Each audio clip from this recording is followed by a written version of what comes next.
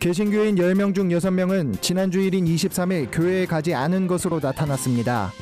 한국기독교 목회자협의회와 한국기독교 언론포럼에 따르면 평소 교회 출석자 중 57%가 23일 예배에 참석하지 않았다고 답했습니다.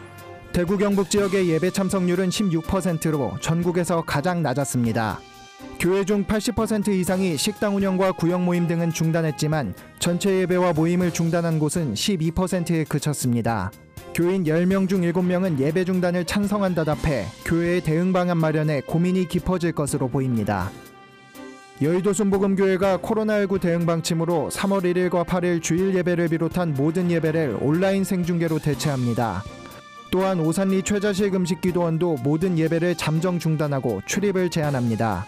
여의도 순복음교회 이영훈 위임 목사는 코로나19라는 국가적 위기 극복을 위해 함께 기도해달라고 당부했습니다.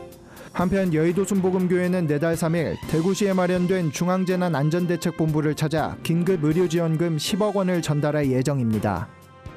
대한예수교장로회 백석총회가 코로나19에 대한 세 번째 대응 지침을 발표했습니다. 가정예배로 대체한 경우에는 경건한 예배를 위한 자료 제공과 더불어 주일 성수와 공예배 중요성이 훼손되지 않도록 철저한 신앙 지도를 당부했습니다. 교회에서 예배를 드릴 때는 정부 지침에 따라 위생과 방역에 만전을 기할 것을 강조했습니다.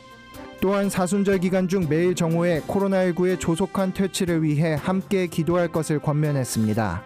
한편 백석총회는 내달 3일 코로나 사태로 어려움을 겪고 있을 홀서모와 은퇴 목회자, 대구 지역 교회를 위해 생필품 박스를 전달할 계획입니다. 광흥교회 최생금 교회 기자가 보내온 소식입니다.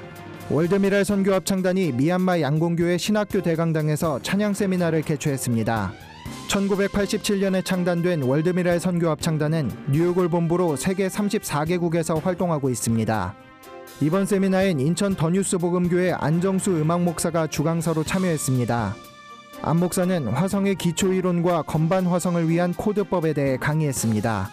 또한 찬양 사역자들의 공연 순서도 마련돼 큰 호응을 얻었습니다.